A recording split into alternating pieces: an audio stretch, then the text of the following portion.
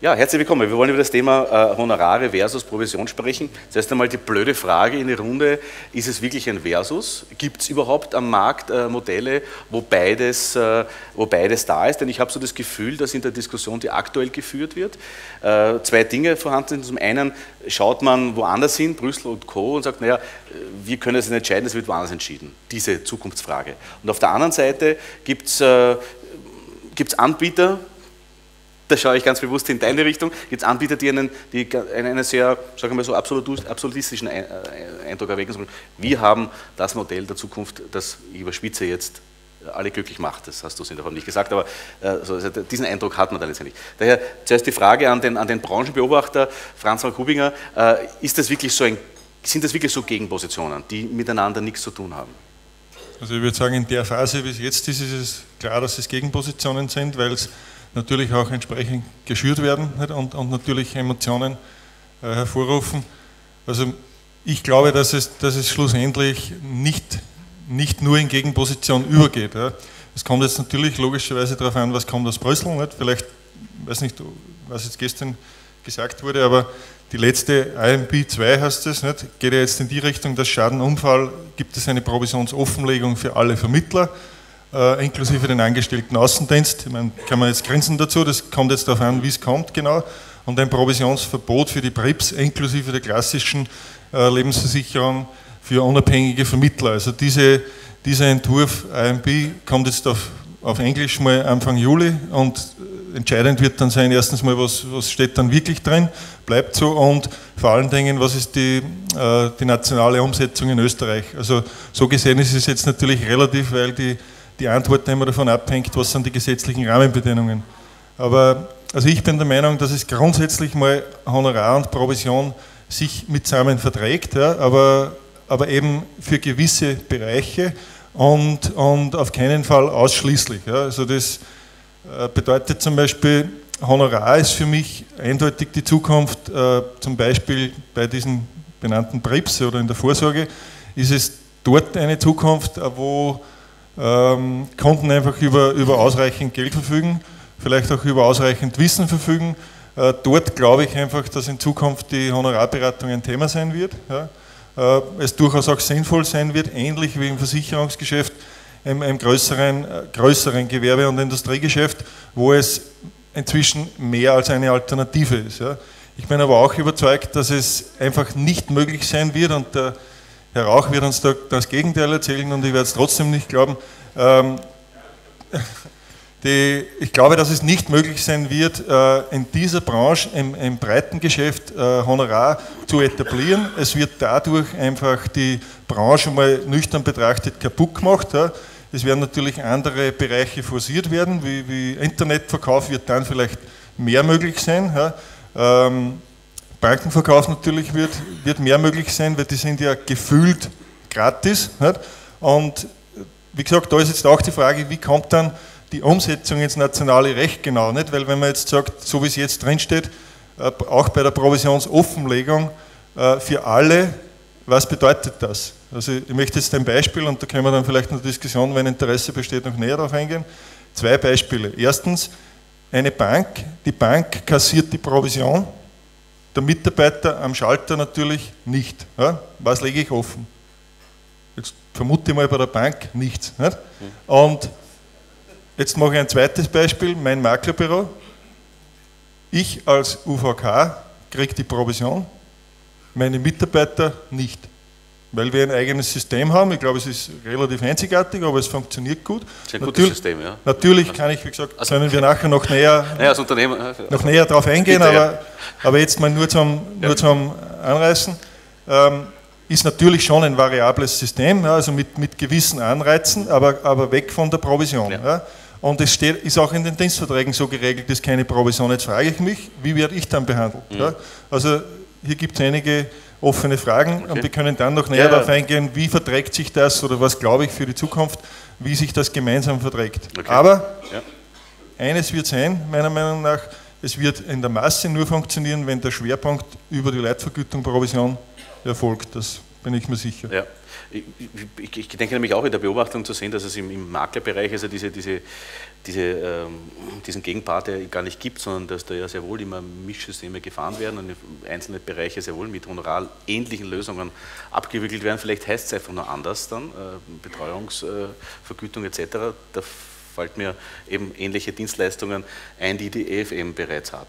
Ist es so, dass sozusagen dieses Mischsystem einfach nur im Versicherungsmaklerbereich zu tragen kommt, aber dass sozusagen im Vorsorge, im Anlagebereich äh, man bisher nur mit der äh, dann äh, nur mit Provision äh, üblich war und wenn, dann ist es wirklich nur für den Vermögen der Privatkunden dann ein Thema wäre. Naja, auch im Großbetriebsbereich oder Industriebereich ist das Thema Honorar inzwischen auch so ein heißes Thema unter den großen Industrieversicherungsmaklern, wo man äh, pseudomäßig versucht vorzugaukeln, es gibt keine Provision und meint damit, es gäbe kein Vergütungssystem. Ähm, es ist eine Lüge in, aus meiner Sicht und damit gehört auch einmal aufgeräumt, wo die Versicherer immer, das ist so schlimm, wenn, wenn es einen Rückkaufswert gibt, wenn Innendienstangestellte von einer Versicherung sagen, der Rückkaufswert ist deshalb so schlecht, weil der Makler so viel Provision kriegt. Das ist schlicht und ergreifend eine Schweinerei, da, kann, da können wir das Gegenteil beweisen. Äh, das Schlimme, was aber gerade jetzt passiert ist, und ich habe sie gar nicht gekannt, ähm, wusste nur, dass es sie gibt, ähm, aber das Schlimme, was jetzt passiert, ist eines, dass die Konsumentenschützer auf, auf Ideen ähm, aufspringen, die im Endeffekt nie wirklich gelebt werden können, weil da müsste man alle Kosten abschaffen. Und Vertrieb machen ja auch die Gesellschaft bei den Vertrieblern. Ist es kein Vertrieb? Und haben die kein äh, Vergütungssystem in irgendeiner Form. Das heißt, wir werden das, solange es Menschen gibt, werden wir das nicht abschaffen können, dass es irgendwo eine Unterstützung und Vergütung gibt. Das wird nur anders benannt. Das heißt, aus dem Theater, und das erkennen inzwischen, und ich äh, diskutiere sehr viel mit den Leuten vom VKI, mit den Konsumentenschützern, und die haben doch erkannt, dass wir da auf einem Irrweg sind. Natürlich haben immer ein paar äh, gescheite Platz, die, die das einfach äh, rein als Honorarberatung machen und wenn es uns der Gesetzgeber oktroyiert, bleibt uns nichts anderes übrig, muss man es lösen. Aber ich halte es in der jetzigen Zeit für sehr kontraproduktiv, da voll in diese, in diese Richtung einfach zu fahren, äh, weil man damit den Banken das komplett in die Hand spielt.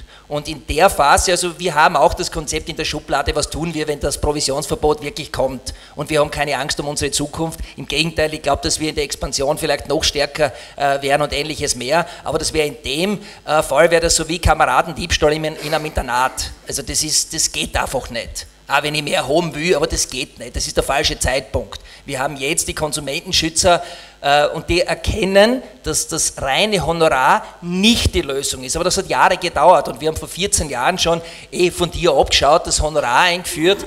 Ähm, äh, aber als Zusatzhonorar, als Betreuungshonorar. Und ich kenne ganz genau die Zahlen ähm, von der Größenordnung her. Wir haben 71.000 Kunden. Ich weiß, wie viel bringt ein Kunde wirklich. Und wir fassen es zusammen auf einen Privathaushalt.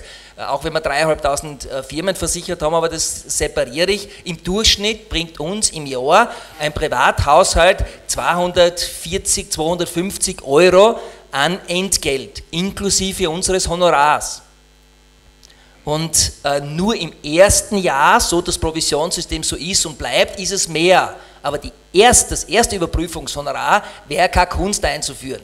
Nur die Frage ist, wie sieht der Kunde es laufend? Und wir haben da, und das kann ich in ein Negativbeispiel bringen, viele von Ihnen wissen, wir haben die 75 Euro jährliches äh, Betreuungsentgelt und wir müssen eines lernen, wir müssen im ersten Jahr nämlich viel mehr verlangen, weil sonst sogar nach fünf Jahren, du hast mir eh nichts mehr eingespart die letzten Jahre, das passt eh alles, setzen wir mal ein paar Jahre aus. Und dem müssen wir erklären, dann müssen wir unsere Arbeit einstellen, weil nur mit der Provision alleine äh, macht es keinen Sinn, diese Leistung zu erbringen. Und da haben wir gern das Beispiel in der Werkstätte.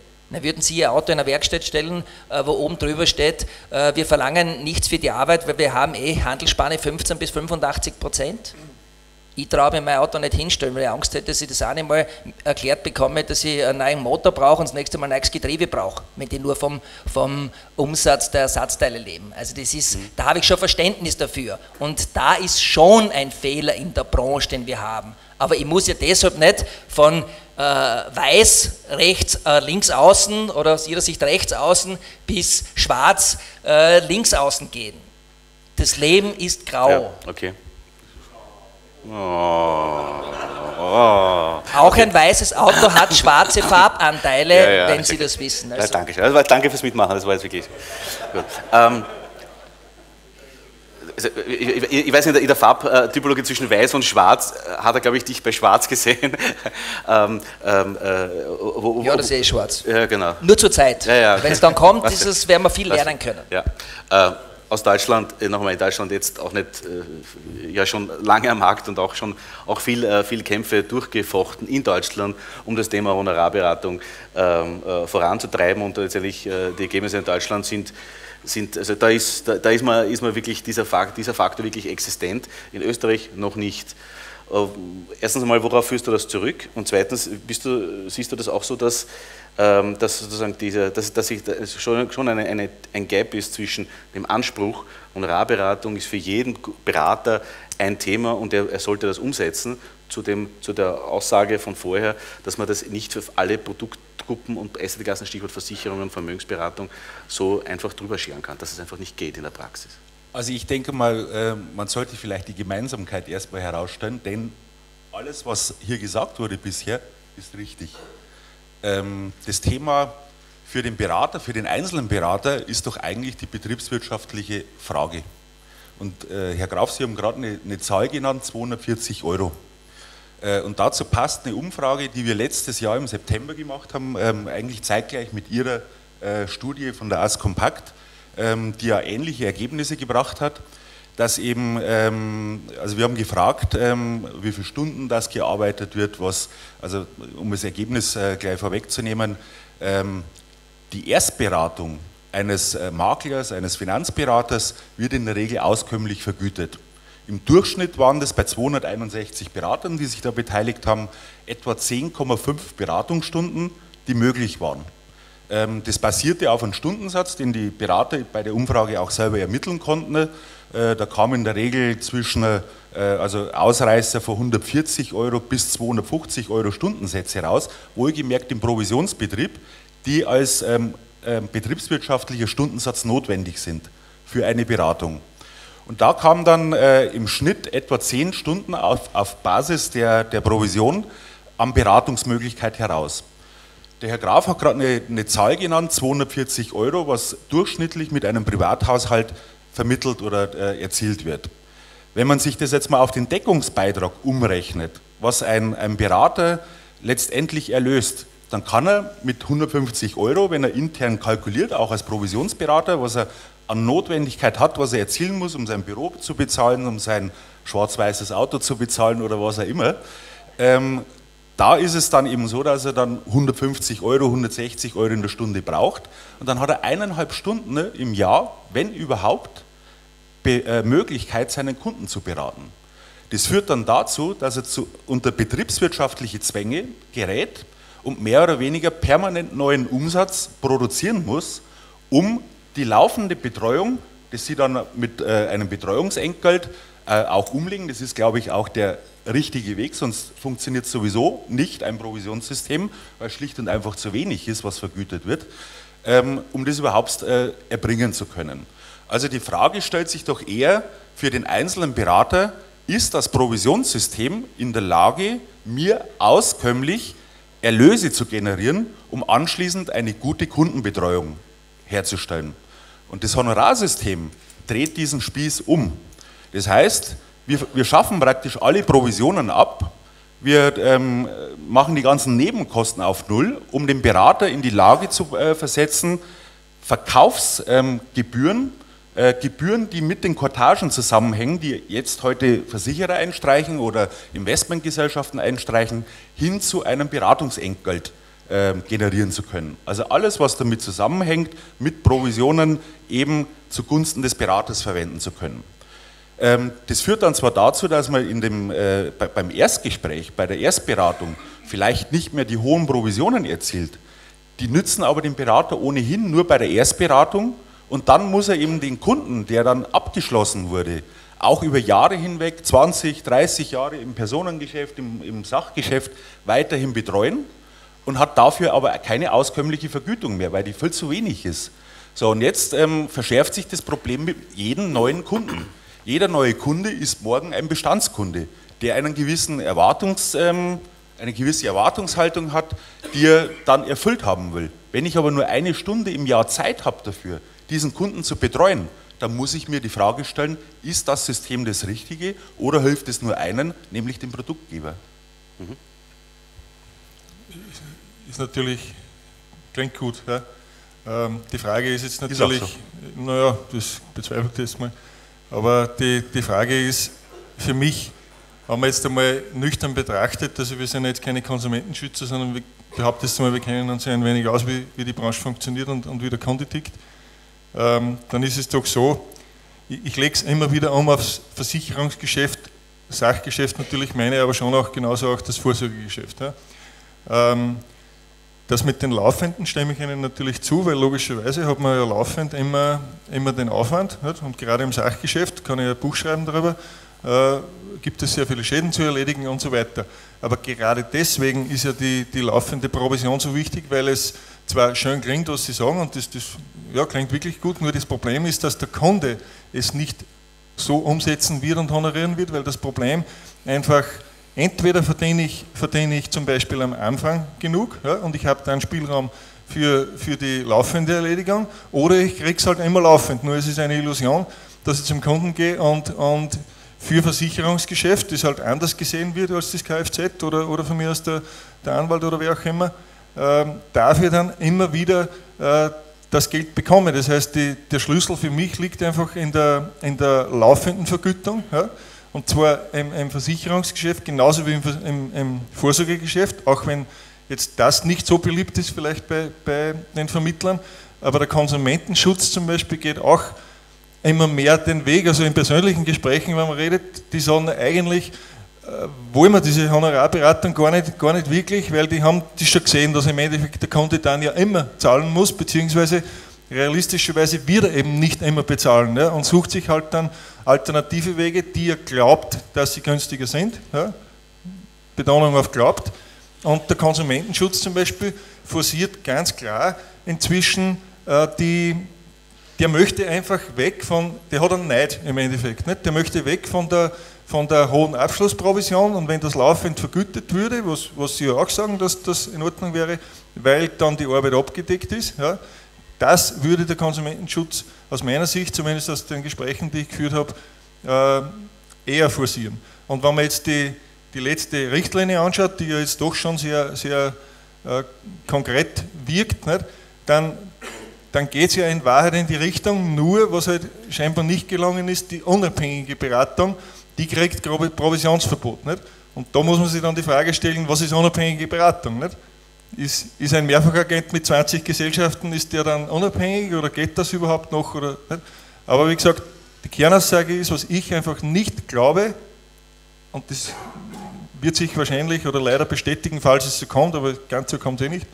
Äh, es geht nicht in der Breite, in der Masse ausreichend Honorar zu bekommen, um wirklich das abzudecken, was ich brauche. Und Sie widersprechen sich meiner Meinung nach, weil auf der einen Seite, kann ich nachher noch herzeigen, haben Sie ja dieses schöne Video, wo Sie die ganze Branche anpatzen mit, mit Provisionsgeier und, und so weiter, das kann ich dann vorlesen. Das ist leider nicht für uns, Herr Wagner. Naja, das kann, Sie sprechen mit gespaltener Zunge, meine ich. Ja. Aber, aber das Provisions die, die Provisions, das Provisions-EPA nicht? Also ich, ich kann Ihnen, das, das, kann Ihnen das sagen, reden wir gleich. Über die Marketingstrategie reden wir gleich. Ja, die Marketingstrategie ist meiner Meinung nach zu sprechen und auf der Homepage ja. vielleicht was anderes. Ja. Aber Fakt ist, dass Sie selber auf der Homepage zum Beispiel schreiben, äh, dass die Provision in Wahrheit zu gering ist. Das heißt, man braucht mehr und jetzt erklären Sie mal, wie das dann funktionieren soll. Dann müssen Sie es auch den Konsumentenschützern sagen, dass Sie mehr Provision wollen von den einzelnen Kunden, weil darauf würde es ja hinauslaufen, wenn es funktioniert. Aber Halt Sie, zwei Dinge, danke. Halt und, Entschuldigung, ja. und es ändert nichts daran, ja. wenn Sie jetzt dann nachher erklären, dass Sie dann ja mehr und effizienter arbeiten können, weil die Administration bleibt die gleiche, die muss ich trotzdem machen. Und so gesehen brauche ich im Prinzip für jede Aktion Ja. Ausreichend? Halt mal, halt mal vielleicht, wir, wir, reden über das, wir müssen über das Thema jetzt reden, damit, damit, diese, diese ganze, damit diese negative Energie raus ist. Das muss man jetzt einmal ausarbeiten ähm, und darüber mal reden, aber äh, halten wir schon zwei Dinge auseinander. Das eine ist, ist, ist, ist sozusagen, äh, die, die, Zukunft der Vergütung liegt in Form von Honoraren, in welcher Art und Weise und wie Vergütungswegen. Andere, als sie bisher sind, sind Fakt. Aber auf der anderen Seite ist sozusagen deine die Position des VTH, der sagt, unser Weg ist der einzige und diese zwei Dinge würde ich persönlich auseinanderhalten. Honorarberatung ist wichtig und gut und notwendig. Und, und die Frage ist jetzt, ob sozusagen die Art und Weise, wie die VDH es anbietet, eine ist, die sozusagen passend ist, äh, praxiskonform ist. Das wird äh, teilweise beschrieben. Reden wir jetzt noch ganz kurz über dieses, über dieses ich sage, sag, dieses Anpinkeln sozusagen, diese Marketingstrategie, wo man sagt, man geht gegen den Provisionsberater vor. Frage an dich, was was, ist, was, was, was, was bringt das? Was erwartest du dir davon aus Aufmerksamkeit, die du bekommst? Also äh, danke für die Frage. Wir gehen überhaupt nicht gegen Provisionsberater vor.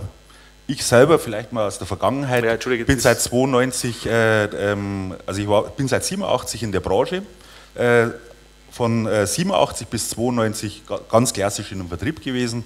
Äh, von 92 bis 2000 äh, als Makler tätig gewesen, habe da ausschließlich schon Honorar umgesetzt und ähm, in meiner Brust schlägt quasi auch ein, ein Maklerherz, mhm. wenn das auch seit äh, 2000, äh, seit wir den VDH gegründet haben, äh, mittlerweile eben reinrassig in dem Honorarmodell gemündet ist. Der Provisionsberater, wo kommen denn unsere Kunden her? Äh, der klassische Provisionsberater ist ja eigentlich unser Kunde, der sich Gedanken darüber macht, ähm, sein Geschäftsmodell, sein Beratungssystem umzustellen auf ein anderes betriebswirtschaftliches System. Mhm. Ähm, und da geht es gar nicht darum, dass Provisionsberatung schlecht ist, Honorarberatung immer gut, denn äh, die Qualität äh, des Beraters liegt in seiner Qualifikation, nicht im Vergütungsmodell. Das Problem, noch, was muss wir. Ich muss noch fairerweise sagen, also der Herr Rumber hat jetzt gerade äh, ein paar Bilder aus, äh, von eurer Homepage gezeigt, Finanzhaie und, und Provisions. Äh, Dieses Geier. Video ist. An alle Finanzhaie, Provisionsgeier, Geldhelden, wir wissen, wie ihr uns ausnehmt, immer und immer wieder. Müssen wir mal abstimmen lassen, jetzt wie viel wie viele solche Finanzhaie Ja, dann sollte man jetzt vielleicht äh, wissen, wo das herkommt. Das ist eine Initiative, die gibt es in Deutschland. Da gibt es mehrere äh, Verbände. In der Honorarberatung in Deutschland haben wir mittlerweile um die 2000 Berater. Ähm, und da gibt es natürlich auch verschiedene Initiativen. Das ist äh, da noch harmlos. Da muss, müsste man sich auf YouTube, kann vielleicht jeder mal anschauen, wie der deutsche Konsumentenschutz umgeht. Da gibt es ein Video, nennt sich Finanzhai. Ähm, auch das haben wir öffentlich sogar kritisiert, denn es geht nicht darum, einen Berater, der Provision nimmt, schlecht zu reden. Um das geht es gar nicht. Sondern wenn ich das Video anschaue, glaube ich, sind wir uns alle einig, es gibt einfach in Österreich heißen es, glaube ich, äh, dann drei Buchstabenvertriebe ähm, und so weiter, die das Image eines Maklers, eines ähm, Obi, Obi oder OMV, ähm, irgendwie so in die Richtung. IBM. VDH. Ja, ähm, äh, es, ist, es ist letztendlich. Ja, ähm, ich weiß nicht, ob, wir, äh, ob das so interessant ist, dass wir uns gegenseitig da äh, das Gesicht einhauen. Ich glaube, sie, sind so, sie sind so bedeutungslos im Markt, dass wir sagen, es ist gut, mit ihnen darüber zu reden und zu schauen, äh, wo sind wirklich Ideen dabei, wo wir lernen können. Und ich glaube, dass es Ideen gibt, wo man wirklich lernen kann von dem, was sie tun. Aber schauen wir, wo ist, wo ist die Wurzel? Die Wurzel des Problems ist, dass ein Konsumentenschützer es einfach, der, weiß ich nicht, 1500 Euro Nettogehalt hat, es nicht einsehen will, dass man bei einer Finanzberatung, und der sieht ja nur die Lebensversicherung als, als, als, äh, als dieses, dieses Thema an, wo es halt in eineinhalb Stunden Beratung vielleicht 5000 Euro beim Bildungsträger, wie es war, oder, da ist so viel Emotion entstanden und da muss man Verständnis haben für diese Menschen die kapieren das nicht mehr, die sehen gar nicht mehr die Arbeit dahinter, die sehen das alles nicht. Weil auch wenn ich so einen Stundensatz her, wissen Sie, so gut kann es gar nicht sein, dass ich Ihnen 250 Euro pro Stunde zahle, für das, dass Sie mir ein bisschen was erzählen. Tut mir leid.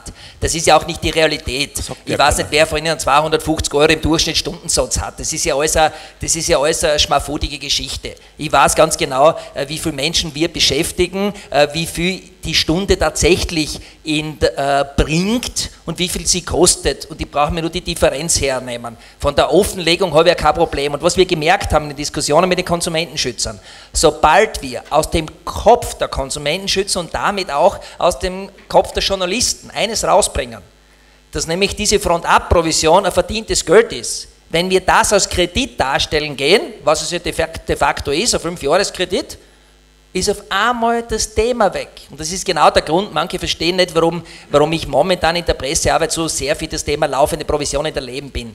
Das ist der einzige Grund, um endlich von, von dem Thema abzulenken. Weil vielleicht haben wir da noch eine Chance rauszukommen. Aber an und für sich, die Versicherer, ob die uns Kredite geben, nämlich wo es das Gleiche ist, nur sie müssen es ein bisschen anders darstellen, oder Vorschussprovision, ist ja kein Unterschied, außer dass man noch die Verzinsung einrechnen muss. Und dann sieht es auf einmal ganz anders aus. Dann reden wir von ein paar Prozent Provision und die ist ihnen auch kein Konsumentenschützer zu neidig. Also wirklich, ich bin wirklich im persönlichen Dialog mit denen und wo man darüber diskutiert. Das heißt, die haben damit kein äh, Problem. Die haben auch geglaubt, dass die Produkte deshalb so schlechte Werte haben, weil die Provision so hoch ist, bis ich beweisen konnte, das drei-, vierfache der Provision auf die gesamte Laufzeit ist zu verbessern, wenn man, wenn man bei den Produkten dahinter genauer hinschaut, wo die, wo die hohen Kosten sind. Das heißt, es sind nicht wir, nur alle haben Freude, wenn wir uns gegenseitig die Goschen einhauen äh, und in der Zwischenzeit die Banken einfach das Geschäft einsackeln und wir damit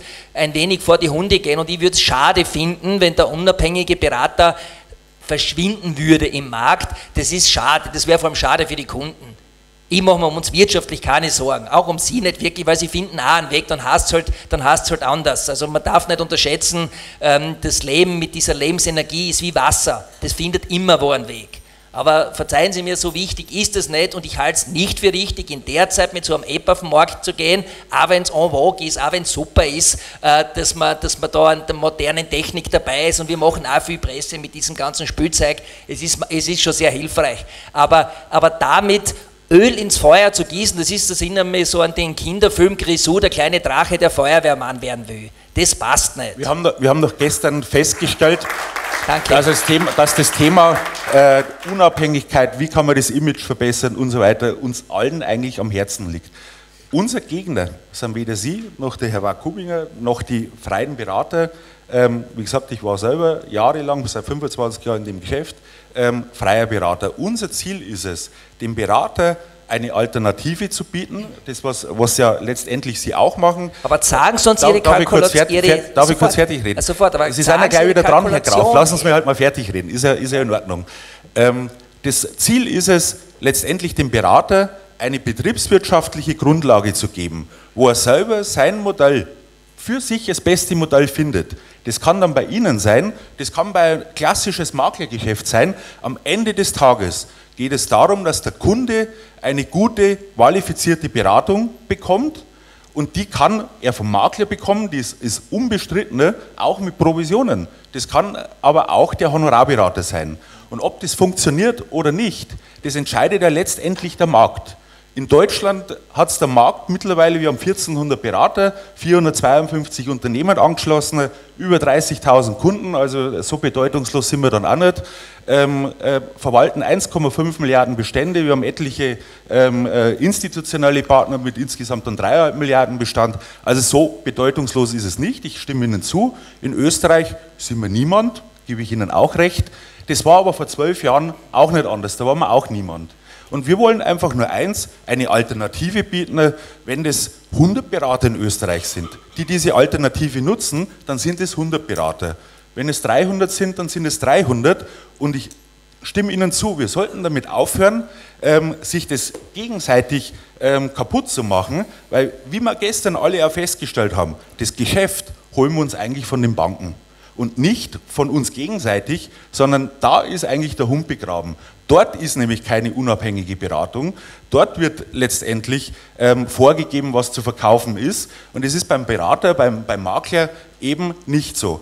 Was aber dazu kommt, ist ein betriebswirtschaftlicher Zwang. Und dieser betriebswirtschaftliche Zwang ergibt sich gerade bei kleineren Maklern eben aus dem Provisionssystem, dass eben keine auskömmliche Vergütung vorhanden ist. Jetzt kann man das lösen mit Zusatzhonoraren, so wie Sie das äh, mittlerweile schon machen. Oder aber man sagt, man verzichtet vollständig auf eine Provision und hat dafür nur auch auf die Provision nur oder auf sämtliches Entgelt. Sämtliche, weil, sämtliche ähm, Provisionen. Weil ich schaue mir das seit Provisionen, das ist das Gleiche, wenn ich, äh, wenn ich in Werner Barwig seit 20 Jahren zuhöre, dass er 100% der Provision hergibt, wir deshalb kein Geschäft gemacht haben, weil ich das als Lüge äh, empfunden habe und ich kenne die Deckungsbeitragsrechnung und sage, 20% Overhead hat er immer gehabt. Und deshalb meine, das ist das, wo wir, wo wir uns selber belügen. Das ist Kameradendiebstahl wie im Internat und da weiß ich, ich war Jahre im Internat, dem, dem hätte man die Decken geben. Danke für diese, für diese ähm, ähm, äh, Info. 100% Danke. Provision, sämtliche Vergütungen heißt natürlich, wir haben, wir haben ein Markenrecht. Sämtliches Geld. Sämtliches Geld, ja, gebe Ihnen recht. Wir haben ähm, ein, ein System, wir haben ja das äh, revolutioniert, wir haben das ähm, komplett ausgebaut in die Richtung, wir nennen das Netto-Prinzip. Der Herr Feider Malberg sitzt da, wir haben mit der Kapitalbank äh, eine Vereinbarung mit allen Banken, äh, Depotbanken äh, ohnehin, wir kriegen von den Depotbanken, von allen Banken unter dem Label Netto-Prinzip 100% dessen, was die Bank selbst erhält. Das heißt, jeglicher Wertschöpfungsweg, jeglicher ähm, Punkt in der Wertschöpfungskette ist honorarbasiert. Das führt dazu, äh, ich bringe ein Beispiel, ähm, ein BlackRock World Mining, ähm, wir haben ja den Herrn Barnier da, äh, der zahlt in der Spitze 112 Basispunkte an äh, Bestandspflegeprovisionen. Diese 100, in Österreich weniger, ähm, aber äh, oh. es ist. Dankeschön, danke. Karl, das wollte ich da jetzt nicht antun, aber da warst du jetzt selber schuld.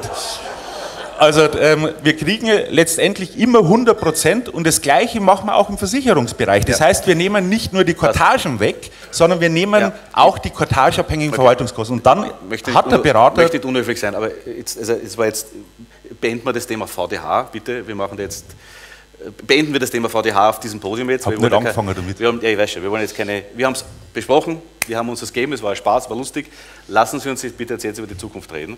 Äh, gibt es Möglichkeiten, gibt es Wege, äh, wo ich aus diesem äh, Entweder-Oder-Thematik rauskomme und lieber Franz Rübiger, gibt es Möglichkeiten, da rauszukommen? Gibt es auch Erfahrungen, die du selbst hast und Überlegungen die du selbst hast? Wie kann, es, wie kann es sein, wie kann es funktionieren, auch mit noch so starken Repressalien, sei es jetzt von, von, von oben oder von der Seite, sprich Mitbewerber? Ja, also für, für mich habe ich, habe jetzt die Überlegung, beziehungsweise da auch schon mit, mit verschiedenen Kollegen gesprochen, wenn man jetzt immer jetzt aufbauend auf dem Szenario, was halt jetzt die letzte die letzte gesetzliche äh, Richtlinie ist, die, wo es ja doch immer klarer wird, wo es hingeht. Also als, als eher größerer Maklerbetrieb wird, sehe ich folgendes Szenario, dass ich einfach in Zukunft äh, in der Vergütung oder im, im, Zugang auf den Kunden einfach äh, flexibler werden, werden muss. Nicht? Das heißt, für mich ist es zum Beispiel vorstellbar aus jetziger gesetzlicher Sicht, also immer so gesagt, sofern nichts geändert wird in den gewerblichen Rahmenbedingungen, ähm, ist es für mich vorstellbar, dass zum Beispiel mein Maklerbüro mal einerseits äh, Gewerbeberechtigung als Mehrfachagent äh, eröffnet. Das heißt, da muss ich mir natürlich anschauen, wie, was versteht man denn dann, wie vorher schon gesagt, unter unabhängig. Nicht? Jetzt habe ich mal vermutlich die Größe, dass ich schon ein paar Gesellschaften zusammenbringe. Also das wird mal für eine gute Beratung reichen. Und im Maklerbereich werde ich dann ähm, voraussichtlich hauptsächlich im Gewerbebereich oder im, im, im High-Level-Bereich der, der, Privatkunden oder vielleicht auch im Vorsorgebereich äh, einfach die Alternativen anbieten und sagen, äh, Kunde, du hast die Möglichkeit, wir fahren auch die Honorarschiene, ja? nicht über VDH, aber wir fahren die, die Honorarschiene und äh, zweitens die Provisionsschiene. Das heißt, der Kunde wird hier einfach freier wählen können. Meiner Meinung nach ist es, wird es schlussendlich so ausgehen, das ist jetzt vielleicht die gute Botschaft für, für die Vermittler, also ich bin überzeugt, unser Betrieb wird mit, mit dieser Schiene im, im Massengeschäft mehr Geld verdienen, ja? weil du dir das wahrscheinlich nachher nicht gibst. Ja? Bei, den, bei den kleinen Produkten schämst dich wahrscheinlich sogar, wenn du die kleinen Cottagen einführst, weil das glaubt der Kunde gar nicht. Und du wirst wahrscheinlich im, im großen Bereich wirst du eher abschneiden müssen. Mhm. Also dort, wo du sehr große Geschäfte oder sehr große BRV-Geschäfte oder so, dort wirst du wahrscheinlich weniger verdienen. Aber mhm. dieses Szenario sehe ich aus jetziger Sicht, dass möglich ist. Zu klären wird sein in Zukunft. Jetzt erstens mal mit dem Gesetzgeber auch, dass, dass eben hier möglichst moderat kommt und was machen im Endeffekt die ganzen Kleinen. Mhm, mhm. Interessant ist ja äh, die Erwartung, wenn ich gerade im Blickfeld Werner Wahlberg habe, Sie, Sie haben ja gestern erzählt davon, dass, dass, dass, dass, Sie, Sie im Private Banking ja auch diese beiden Modelle anbieten den Kunden, dass letztendlich die Mehrzahl der Kunden, habe ich es richtig im Kopf, sich dann für das alte Modell entscheiden. Äh, wie ist da die Prozentsatz in etwa nochmal? 90% Also 90 Prozent sagen, bitte Applaus mal so wie bisher. Ja. Okay. Das würde, würde sich mit, mit der Vermutung, wir haben jetzt nur eine Umfrage dahingehend natürlich, was glauben die Vermittler, wie die Kunden sich entscheiden. Das ist natürlich etwas, etwas ähm, eingeschränkt. Ja. Aber rein von der Logik her, wenn ich jetzt so mir denke, der Durchschnitt der Kunden, ja, ähm, kann ich mir nicht anders vorstellen, wenn du ihm das anbietest, er sieht immer nur das, wenn er extra etwas bezahlen muss. Mhm. Und in Wahrheit, auch wenn jetzt ein, ein Honorarmodell vielleicht, unterstellen wir mal, es ist absolut äh, edel und, und, und ganz, ganz lieb. Ja? Also es gibt gar nichts anderes mehr, was bezahlt wird.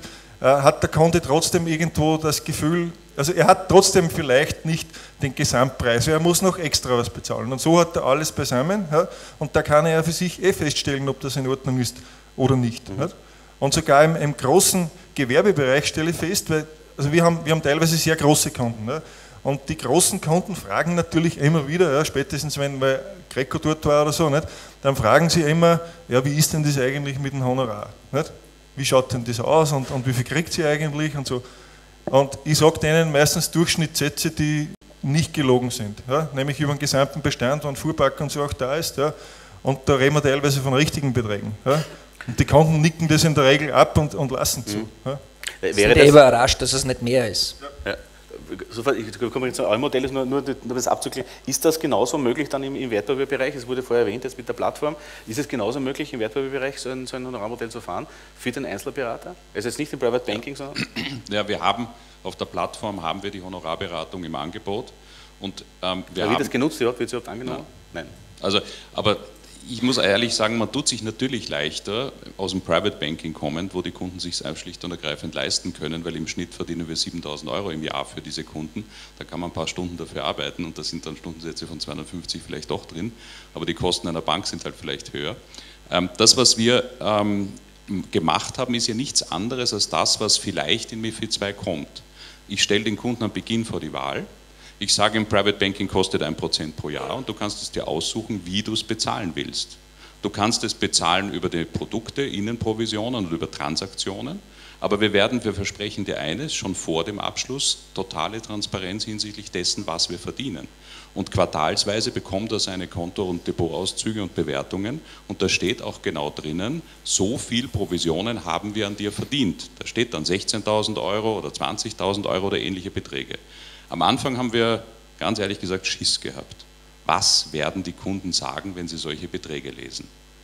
Aber ich sage ganz ehrlich, es hat funktioniert, es hat keine großen Beschwerden gegeben und es, äh, man hat ein Problem nicht.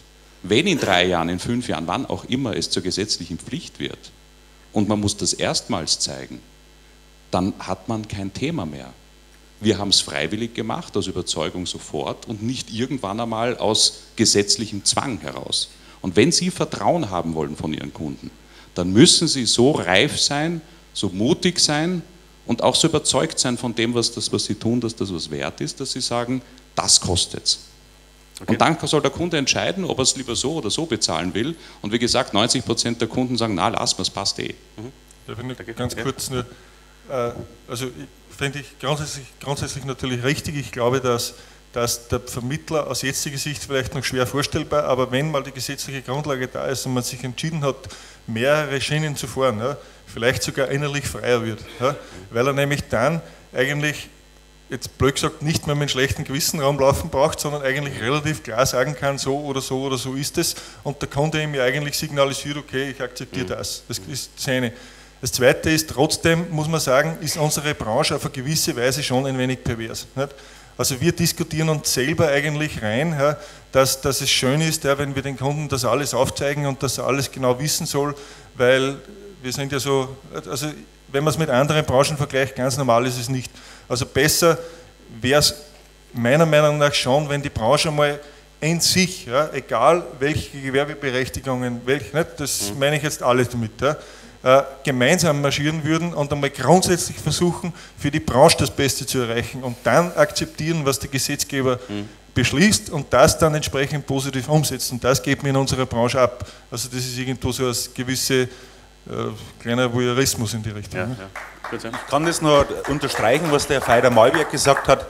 Äh, übrigens, vor sieben Jahren waren Sie bei uns in Deutschland ja auch schon auf einer Veranstaltung mit vollen Räumen. Also da ist es mittlerweile auch äh, akzeptiert, hat fünf Jahre gebraucht und von daher die Bedeutungslosigkeit nach zwei Jahren ist natürlich. Ja, ja wir haben gesagt, die Werbeveranstaltung ist vorbei. Aber das äh, Thema ist wirklich, was, was der Herr Feider-Malberg sagt, diese äh, Transparenz, ähm, die dort gelebt wird, eins zu eins gelebt wird, mhm. schafft natürlich auch massives Vertrauen. Und ich habe mir das gestern auch mal so angeschaut, was letztendlich die ein, einzelnen Workshops ähm, ergeben haben. Und da stand ja auch immer, wie ähm, kann man das Image verbessern.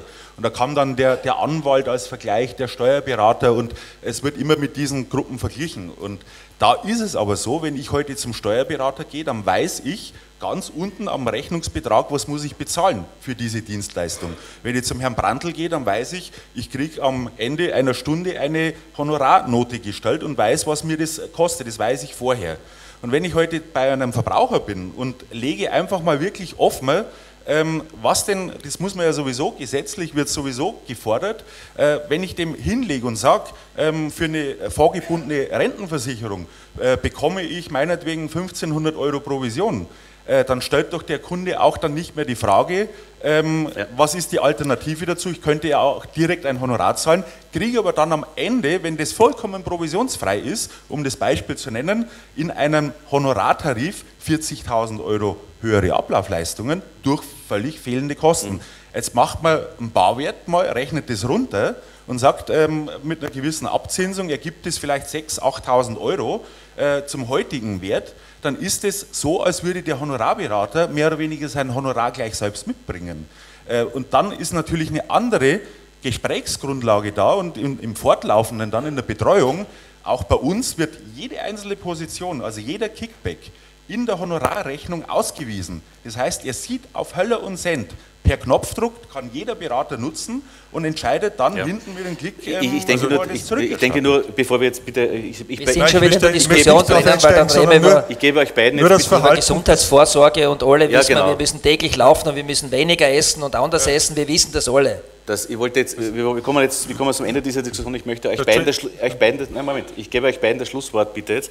Äh, was mir nur wirklich immer wieder nur abgeht in dieser ganzen Diskussion, ist die fehlende Differenzierung. Ich persönlich bin der Meinung, und dafür hat mich noch keiner vom Gegenteil überzeugt, ist es einfach, dass ein großer Unterschied ist, ob ich Investmentberater bin, Portfoliolösungen mache, was auch immer, ob ich ein, ein Versicherungsmakler bin, der sachlastig ist, oder ob ich nur Vorsorgeberatung mit Fondspolizen, was auch immer mache. Das sind drei verschiedene Berufsgruppen, die wahrscheinlich in Zukunft unterschiedlich vergütet werden. Ich wollt, möchte euch gerne das Schlusswort geben, euch beiden, und möchte wissen, wie in 2020 diese drei Berufsgruppen bitte um Differenzierung vergütet werden. Bitte.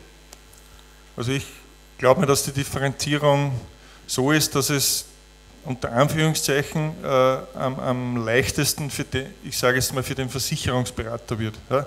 Weil ich eben nicht ganz sicher bin, ob, also eine These ist, ja, auch unbeliebt, ja, aber es kann sein, dass es in fünf oder in zehn Jahren nur mehr 300 Versicherungsmakler gibt. Ja. Äh, das ist aber jetzt nicht so dramatisch, sondern die sind dann wahrscheinlich Agenten, ja, wieder unbeliebt. Ja. Aber, aber das könnte sein. Aber Versicherungsberatung wird es meiner Meinung nach einfacher haben, weil der Versicherungsberater ständige laufende Leistung besser darstellen kann. Meiner Meinung nach. Und das Gebiet vielleicht noch um eine Spur komplexer erscheint. Ja ist nicht gesagt, dass es auch immer so ist. In der, in der Vorsorgeberatung äh, sehe ich vielleicht am, am schwierigsten, ja, weil dort der Kunde, glaube ich, den, den laufenden Betreuungsbedarf nicht so erkennen wird.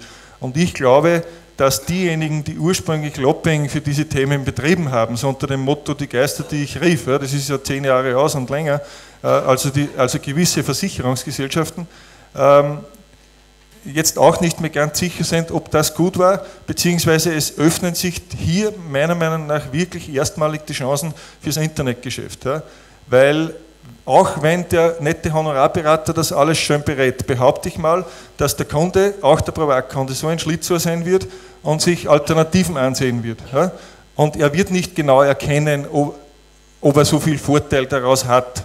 Das heißt, das Internetgeschäft, glaube ich, wird dadurch mehr werden und der Vorsorgeberater, wenn man mal so bezeichnen, wird es meiner Meinung nach eher schwer haben und wird eher nur mehr im, im größeren Geschäft, und dort stimme ich zu, eher auf Honorarberaterbasis mhm. agieren können. Im Investmentgeschäft glaube ich, dass es möglich ist, wieder eher mit Lau Honorar sicher auch, ja, aber, aber mit laufender Vergütung dort ist auch immer wieder eher so laufende, laufende Arbeit notwendig. Ja. Das kann der Kunde eher einsehen. Okay. Das ist meine Meinung. Dankeschön. Bitte. 2020. Ähm, stimme komplett überein, dass in der Versicherungsberatung sich das zwar verändern wird, wie viel gibt es in welcher Berufsgruppe, aber an und für sich, die Menschen werden gleich viel Versicherungen haben, werden vielleicht ein bisschen weniger Beratung brauchen, aber die sind so intransparent geworden, dass man eher mehr Beratung braucht. Das ist, haben wir alle nicht erwartet gehabt ähm, der Vermögensberater, der hat sich ja, das ist ja ganz ein junger Beruf. Und, und ich glaube, dass der aus dieser Krise, dass da eine Chance werden wird, dass er in der Wahrnehmung der Seriosität eine große Entwicklung durchmacht. Weil selbst die Strukturvertriebe, die verböhnt sind, was machen die heute an Ausbildungsprogrammen? Ich habe vor 25 Jahren Strukturvertrieb gemacht, wenn ich das mit heute vergleiche, muss ich mich zutiefst verneigen, was die zusammenbringen heute. Und die werden auch in der Vorsorgeberatung wahrscheinlich auch wieder aus der Not heraus, aus der Krise eine Chance machen und werden wieder, also alle, die glauben, die werden verschwinden, die sage ich gleich, vergessen Sie das. Die wird es immer äh, geben und die werden manches einfach ganz gut auch entwickeln, wovon wir zuerst schimpfen und uns später profitieren. Ähm, die werden diesen Bereich, glaube ich, am besten lösen, denn die haben in erster Linie mit Neuanfängern zu tun. Weil einer, der einen großen Kundenstock hat, der stellt den Kundenstock um auf ein, auf ein neues Vergütungssystem und der schnapst das aus mit seinen Kunden, weil die ihm ja vertrauen. Das heißt, die haben nicht wirklich das Problem, aber alle, die im, nur im Neugeschäft sind, die müssen innovativ sein und da schauen wir einfach zu, was die machen und dann schauen wir, was für eine gute Idee dabei ist und das verwenden dann die, die Vollprofis hier und da einfach auch oder noch verbessert. Aber Zukunftsangst brauchen wir keine haben, davon bin ich überzeugt. Äh, es wird dann in irgendeiner Form, und ich sage nicht, muss ja nicht Provision heißen, weil auch im Banking-Bereich, die leben ja auch nicht äh, nur von diesen Honoraren, wie man hört, 10% und selbst da gibt es immer eine, eine Form der Umsatzvergütung, das heißt dann halt anders. Das heißt nur anders. Also da ja. bin ich frei von jeder äh, Sorge und wir sollen uns bis dahin, wir sollen nicht die große Angst haben vor dem Weltuntergang, weil dann passiert er irgendwo anders. Der Herr Samuilov hat ja gestern auch schon in der ersten Diskussion gesagt, seien Sie gefälligst optimistisch. Und das war also wirklich äh, auch äh, ähnliches Wort. Vielleicht noch zum Abschluss eine private Frage. Ich war nicht in einem Internat. Was heißt jemandem die Decken geben?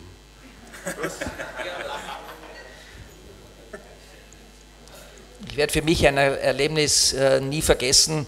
Ich war einfach frech und, und die in den älteren Jahrgängen, da habe ich halt geglaubt, naja, ich habe eh die starken Erzieher hinter mir. Und da bin ich mit Beschwerden gegangen, wie die mit mir umgegangen sind im ersten Jahrgang. Ähm, da habe ich heimgewarnt als 14-Jähriger, wie ein kleiner Bub. Da gibt es tatsächlich, die denken, da gibt es tatsächlich gewisse Dinge, wo man sagt, das ist, das ist gar nicht einmal fair. Aber da habe ich gelernt, hoppala, es gibt einfach ein, ein gemeinsames Miteinander müssen und nicht sich immer verstecken hinter irgendeinem Starken. Und das ist der Erzieher oder wer auch immer. Und das ist spannend. Also da wird härter gerichtet, als es jedes Gesetz zulassen würde. Und das wissen alle, die in einem Internat waren. Und das hat aber nicht geschadet. Also wenn man das Glück hat, so nah jetzt da bei ihm gesessen zu sein, weiß man, dass das äh, eine emotionale Sache war. Vielen Dank. Danke Josef Graf für die Offenheit. Danke Franz Akubinger. Danke Dieter Rau. Danke.